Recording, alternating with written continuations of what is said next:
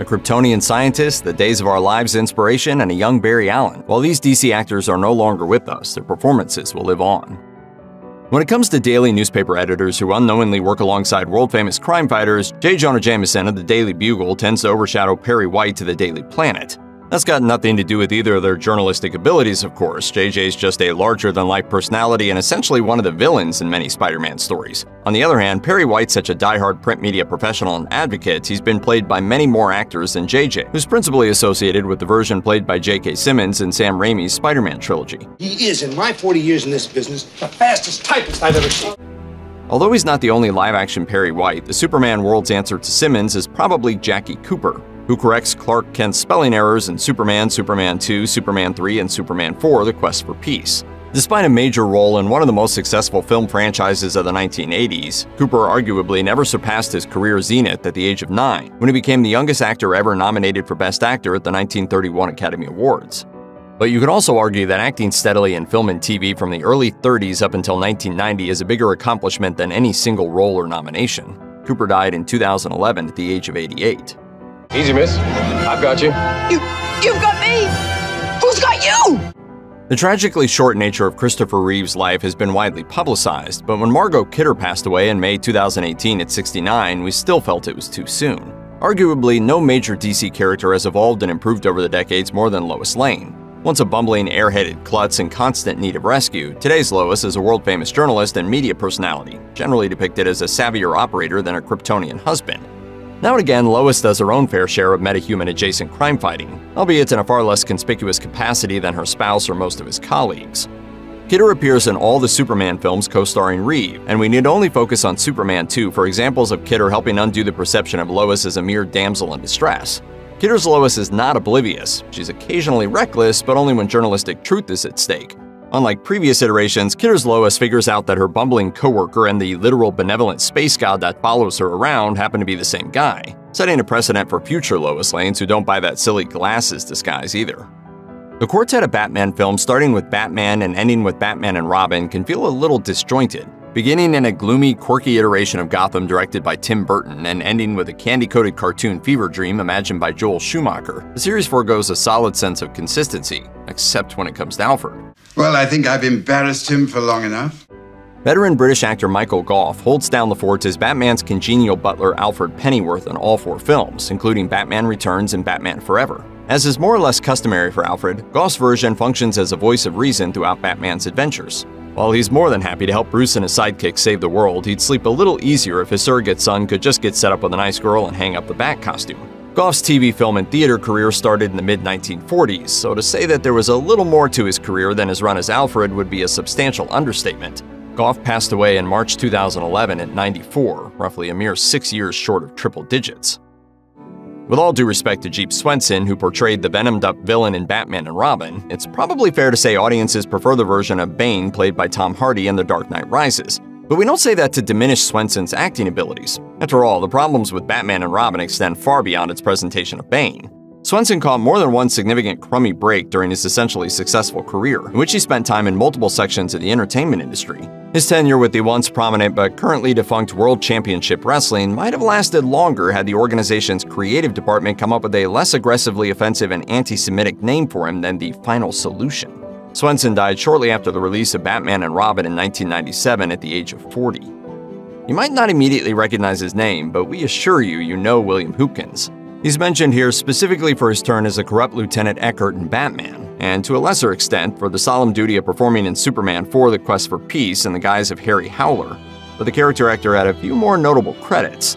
For instance, in Star Wars, his character named Porkins pilots a ship called an X-Wing and attacks a moon-sized space station known as the Death Star. Though known for minor roles in Hollywood, his reputation in London's theater scene was a different story. His obituary cites his ongoing starring role in the play Hitchcock Blonde as his career's greatest triumph. But for actors with as many projects under their belts as Hootkins, what they're known for becomes a matter of subjectivity in some respects. He died in 2005 at the age of 57. A fixture of televised comedy since her late 80s stint on Saturday Night Live, with subsequent recurring roles on The Simpsons and Third Rock from the Sun, Jan Hooks also appeared in Batman Returns. Evil businessman Max Shreck hires her character to explain stuff to presumptive Gotham City mayoral candidate the Penguin, like why voters prefer fingers to flippers. The Tim Burton directed sequel to Batman is not Hooks' only DC related credit. She also plays a woman who claims to be raising Superman's love child on CBS TV's Superman 50th Anniversary Special, a lighthearted slice of Superman ephemera. Hooks passed away in 2014 at 57 years old. Danny DeVito's Penguin recruits a wide variety of minions for his crime spree in Batman Returns, although they don't all have obvious utilitarian value. If you're putting together a gang to inflict the maximum amount of violence and mayhem, then why bother signing up an organ grinder? Penguin's thinking may be too sophisticated for us to comprehend, so we just have to take it on faith that the musical accompaniment produced by Vincent Schiavelli's character, plus the amusement provided by his dancing monkey, was essential to Oswald Cobblepot's diabolical machinations. Beyond the confines of Batman Returns, Schiavelli carved out a niche as one of the great character actors of his era with turns in One Flew Over the Cuckoo's Nest, Fast Times at Ridgemont High, and Ghost. X-Files fans may recognize him from the cult favorite episode Humbug, in which he guest stars along with Michael J. Anderson and Jim Rose, founder of the circus of the same name. Schiavelli passed away in 2005 at the age of 57. A high ranking staff member at Arkham Asylum who happens to be named Dr. Burton is not even close to the goofiest thing in Batman Forever. But creating a toss-away character for purposes of delivering a good-natured dig at director Tim Burton, who oversaw the previous two Batman films, feels like a cheeky move on the part of director Joel Schumacher. We suppose it would be disappointing for Rene Auberjonois if his only major acting work consisted of a brief scene as a gag character at the end of a lesser Batman movie, but that's not even close to the case. Though he contributed a physical or vocal performance to an insane amount of TV shows, including numerous DC and Marvel animated projects, Auberjonois is most widely remembered as Odo on Star Trek Deep Space Nine. He died in 2019, not long after the release of the critically beloved First Cow, one of his last movies, at the age of 79.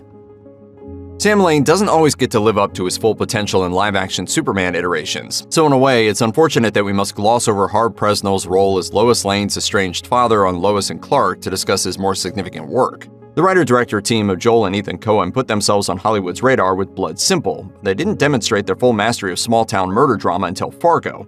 Used car salesman Jerry Lundegaard hires a pair of hitmen for an elaborate kidnapping scheme designed to scam his father-in-law. The situation collapses into a tragic bloody shambles. The American Film Institute once ranked Fargo as one of the top 100 films of all time, and it would be a completely different movie without the veteran Presnell's conjuring of Wade Gustafson. Lundegaard's overbearing father-in-law and would-be Mark. Presnell died in 2009 at the age of 75. Here's where we confess that calling screen comedy legend Fred Willard a DC actor is insanely reductive, and the same statement applies to a handful of entries on this list.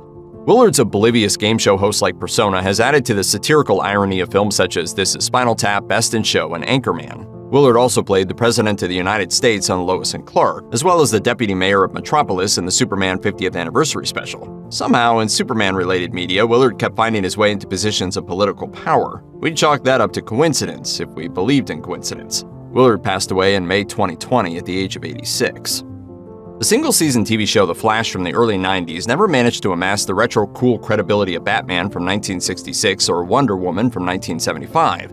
There are probably multiple reasons for that, but a glance at the show's intro music and opening credits indicates that somebody in charge wanted very much for The Flash of network television to be the Batman of Tim Burton films. CBS didn't have the budget, and Barry Allen didn't have the angst to fulfill that expectation. That's kind of unfortunate for Biff Manard, as he appears in 17 out of the 22 episode run of The Flash. He was able to have a more than respectable career and legacy outside of his time as Officer Michael Murphy, though. Manard shows up in both entries of the cult sci-fi series Trancers and acted on a score of television shows throughout the 80s and 90s. He died in 2014 at the age of 71. Cyborg to Aquaman, where the hell are you, fish stick? Cyborg has enjoyed something of a live-action revival as of late. As played by Ray Fisher, he got a heck of a lot more screen time in the recently released Zack Snyder's Justice League than he did in the original edit, while an iteration played by Joivan Wade has regularly appeared on Max's Doom Patrol series. But back in the 2000s, when studio executives falsely assumed television could only handle one DC-based primetime drama at a time, Lee Thompson Young was mass media's one and only flesh and blood Victor Stone. Though he only drops by for three hour long adventures with Clark Kent on Smallville, Young's version of Stone gets to be a co founder of the Justice League alongside Green Arrow. That means that the one time Friday Night Lights and the famous Jet Jackson star definitely set some of the groundwork for Ray Fisher's tenure with the character. Young unfortunately died from suicide in 2013 at the age of 29. Perhaps you already know that Rutger Hauer, certainly one of the most recognized character actors in sci fi fantasy, died in July 2019. And maybe you also already know that he played the nefarious Wayne Enterprises executive credited only as Earl in Batman Begins. While we left Heath Ledger and Christopher Reeve off this list because they're both highly publicized celebrity deaths, their careers are both also closely associated with their tenures as major DC characters. Hauer, on the other hand, is probably too famous for the relatively minor part he plays in Batman Begins. We happen to know it's possible to watch multiple screenings of Batman Begins and still not notice the classic Blade Runner antagonist Roy Batty reassuring Bruce Wayne that he's got the best interests of the Wayne legacy at heart. Though Earl isn't a major part of Batman Begins, The Dark Knight wouldn't be the same movie if Bruce Wayne had not overcome a sleazy corporate ladder climber in the first part of the trilogy. Ergo, we can say there are two indispensable sci fi fantasy action franchises that would not be the same today without Hauer. Bruce, you're supposed to be dead. Sorry to disappoint. Heath Ledger's once in a generation performance as the Joker tends to gobble up a huge chunk of the discourse when it comes to The Dark Knight, and rightfully so but it's unfortunate how matters related to the Joker overshadow so many other components of Christopher Nolan's tour de force. Tom Tiny Lister Jr. only spends a few moments on screen, but is the tattooed inmate who protects a ship full of civilians by tossing the switch to one of the Joker's bombs into the ocean. He certainly makes those few moments count. Lister's poignant appearance in The Dark Knight isn't necessarily his most impressive career accomplishment. Back in the 80s, Lister went by the alias of Zeus and main evented the 1989 SummerSlam pay-per-view card, teaming with Macho Man Randy Savage against a tandem of Hulk Hogan and Brutus the Barber Beefcake. The rest of Lister's resume includes featured roles in Friday, The Fifth Element, and Jackie Brown. Lister passed away in December 2020 at the age of 62. Logan Williams appears as young Barry Allen in flashback and time travel sequences during the first two seasons of CW's The Flash. He also had a recurring role on the Hallmark Channel period drama When Calls the Heart, and landed his first role in the Hallmark movie The Color of Rain at the age of 10. He died in 2020 at 16 years old after a three year battle with opioid addiction. His mother Marlise said at the time, His death is not going to be in vain. He's going to help a lot of people down the road. According to the Centers for Disease Control and Prevention, nearly 69,000 people in the U.S. died from overdosing on synthetic opioids in 2020. Sadly, Logan Williams was one of those statistics far too early into his life and what should have been a long and promising career. Can't you remember anything? I remember the Alamo. Though Paul Reubens' place in pop culture history was assured by his most beloved creation, Pee Wee Herman, the actor comedian also played a variety of other roles, some of which trucked into not so funny territory. Case in point, Batman Returns, which reunited Reubens with Pee Wee's Big Adventure director Tim Burton. He played Tucker Cobblepot, a Gotham City district attorney who is horrified to discover that his infant son Oswald is physically disfigured. Cobblepot abandons his child, who is subsequently raised by emperor penguins at the old Gotham City Zoo and later becomes the monstrous penguin. Reubens played a drug dealer in Blow, the restless ghost of a suicide victim in life during wartime, and the strange Mr. Vargas in five episodes of The Blacklist. He also played Elijah Van Dahl, a more sympathetic version of the Penguin's father on three episodes of Gotham. He voiced several DC characters, including Bat-Mite and the Riddler on Batman the Brave and the Bold and the Robot Chicken DC Comics specials, respectively. Reubens' death from cancer at the age of 70 on July 30, 2023, was mourned by fans and collaborators alike. Though numerous actors have attempted to put their stamp on the physicality of Batman, one performer largely defined the Dark Knight's voice for more than three decades. Voice actor Kevin Conroy debuted as Batman in Bruce Timm and Eric Radomski's Emmy-winning Batman the Animated Series in 1992, and continued to voice the character in dozens and dozens of projects, including other DC Animated Universe series, feature films, and video games. Conroy also played the Earth 99 variant of Bruce Wayne on the CW's live-action Arrowverse crossover event Crisis on Infinite Earths. Conroy, who studied acting at Juilliard, began his career in theater and amassed a sizable number of live-action television credits, including recurring roles on Dynasty and Tour of Duty. In addition to his many turns as Batman, Conroy also lent his distinctive voice to such animated series as The Venture Brothers, Ben 10 Alien Force, and He-Man and the Masters of the Universe. In 2022, Conroy penned Finding Batman, which detailed how his own troubled childhood and experiences as a gay man informed his portrayal of Batman for DC Pride 2022. Conroy died of intestinal cancer at the age of 66 on November 10, 2022. His final performance as Batman will be featured in Rocksteady Games' Suicide Squad Kill the Justice League in 2024. Though created by Paul Dini and Bruce Timm, the DC antihero Harley Quinn also owes a debt to actress Arleen Sorkin for her iconic look, voice, and attitude. Dini, who knew Sorkin from college, saw a compilation reel of her appearances as the eccentric Calliope Jones on Days of Our Lives, which included a scene in which she was dressed as a jester. The scene inspired Dini and Timm to create Harley Quinn, a wisecracking henchwoman and foil for the Joker on Batman the Animated Series, and they tapped Sorkin to voice the character. She went on to play Quinn in five other animated series and numerous video games. Fine, I'll show you. You'll be sorry. I'll pull a big heist and I'll be laughing at you. Ha ha, you hear? Laughing! She logged more than 400 appearances on the days of her lives, as well as recurring and guest shots on series like Duet and Frasier. Additionally, Sorkin wrote episodes of Tiny Toon Adventures, created the short lived sitcom Fired Up, and co produced a 2010 documentary on Pakistani Prime Minister Benazir Bhutto. Sorkin died of complications from pneumonia and multiple sclerosis on August 24, 2023. From the mid 1960s until Tim Burton's 1989 film Batman, Adam West was the on screen face and voice of Batman for a generation of audiences. West played both the Caped Crusader and his dashing alter ego Bruce Wayne on ABC's Batman series from 1966 to 1968, but was unable to parlay that show's brief but meteoric fame into a more substantial acting career. Like George Reeves and many other actors who played superheroes, West found Batman to be a blessing and a curse. It elevated him to stardom, but also became a glass ceiling through which he was unable to break for decades. Perseverance and a willingness to spoof his screen persona led to West's revival as a comic actor and voice performer in the 1990s and 2000s. He appeared, often as a smug version of himself, in series like King of Queens, as well as films like Drop Dead Gorgeous, and he voiced numerous characters in animated series, including the deranged mayor on Family Guy. Uh, what don't you have in that belt? Patience. For harlequin hoodlums like yourself. He also reteamed with Batman co star Burt Ward to reprise their roles in animated form in two features, including Batman Return of the Caped Crusaders in 2016. West's death from leukemia at the age of 88 on June 9, 2017, was commemorated by the city of Los Angeles, which shone the bat signal on City Hall on June 15th of that year. Season 1, Episode 6 of Lucifer, titled Favorite Son, introduced viewers to Hank Cutter, president of the Los Diablos Motorcycle Club, whom Lucifer and Chloe suspect as the chief culprit behind the theft of a shipping container belonging to the Prince of Darkness from a warehouse. Hank proves to be anything but the typical biker captain, Though he looks tough as nails, what Hank really wants to do is start his own clothing line. He doesn't even like riding his bike. Tom Sizemore was in the midst of a comeback when he appeared as Hank Cutter on Lucifer. A substance abuse problem and other personal issues had caused the Golden Globe and Screen Actors Guild nominee to fall far from his status as a popular character actor in films like Saving Private Ryan, Heat, and Natural Born Killers. After stints in rehab and jail in the 2010s, Sizemore began to rebuild his screen career, largely through recurring roles on Hawaii Five-O, The Red Road, and the 2017 revival of Twin Peaks. However, Sizemore was hospitalized after experiencing a brain aneurysm and stroke at his home in Los Angeles on February 18, 2023. Doctors informed his family on February 27 that there was no chance of recovery, and his family made an end of life decision for the 61 year old actor. He died on March 3, 2023.